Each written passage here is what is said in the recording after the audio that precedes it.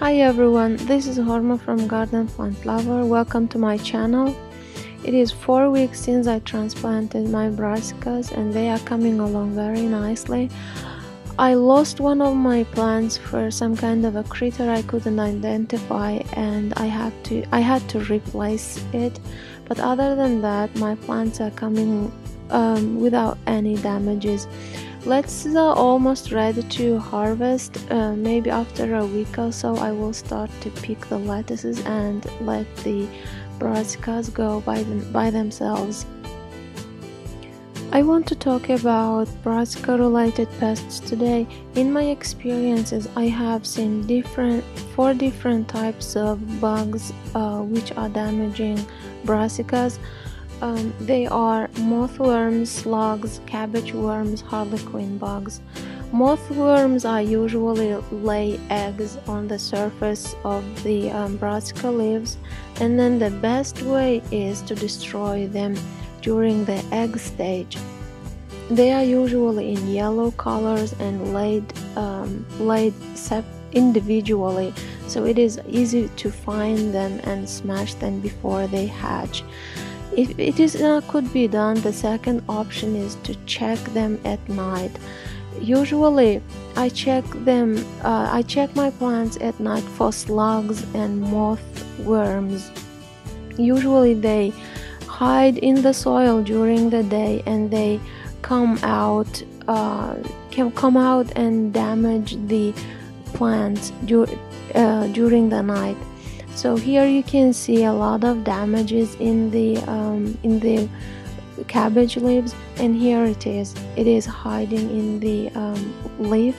And then usually I pick it and I drop it into a soapy water so it would not hurt my plants further the other protecting option is growing brassicas under the row cover or agro fabrics. In that way, it prevents the moths to lay eggs on the on the cabbages or brassicas, but you still need to check your plants at night for the slugs.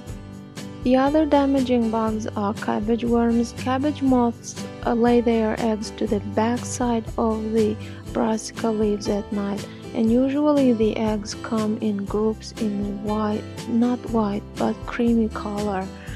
And um, usually when they hatch um, the moth larvae start to eat the tissues of the brassica leaves.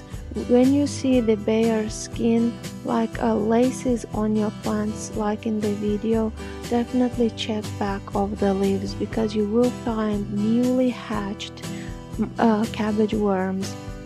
The best, uh, the best thing to protect your plants from them is destroying them uh, at the egg stage, like I said. And once they grow up, they eat the whole plant overnight. They are very, very damaging bugs.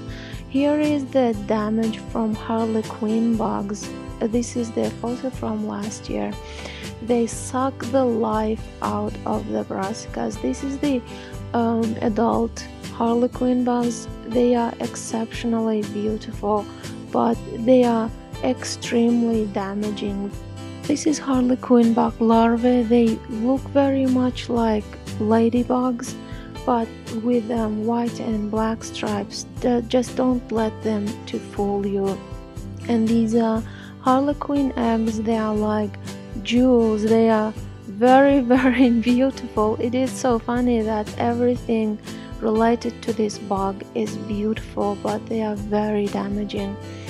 And as you can see there are um, bug damages in the outer leaves but as long as bugs don't damage the center of the plant the plants recollect themselves and they um, they go well and I have started to harvest my uh, lettuces. So some of the some of the brassicas as you can see they are are growing by themselves. Now there is no any um, destruction or competition around them. And we will harvest the rest of the lettuces in a week or so so that all of the brassicas will grow without any distraction Another, th another important thing in succeeding with brassicas and getting huge heads is watering. Always keep in mind that brassicas and water come hand in hand. If there is no water, there is no brassica. Brassicas need a lot of water. From the time you put them into the ground, they need a lot of water to grow vigorously and to form the decent heads. Especially in hot spring days when temperatures go over 80s, give plenty of water to your brassicas so that they will not experience any dehydration. When you think of brassicas, always think of water because brassicas need a lot of water. It is now 40 days after I transplanted my brassicas and lettuces to the to this bed and as you can see I see head formation in my cabbages and my broccolis. This is a gypsy broccoli. This is um, 55 days early variety and I, I have four plants of it and they the all of the plants are forming heads they they will need another week or so to complete the um, to complete the growth. Especially when you see head formation in your brassicas give a lot of increase the amount of water you give them so that they could size up. If they are dehydrated if they don't have enough water the um, brassica heads will not size up. This is all I have for you today if you like this video, please give thumbs up and if you want to watch videos like this, please subscribe my YouTube channel. Thank you for watching. Bye.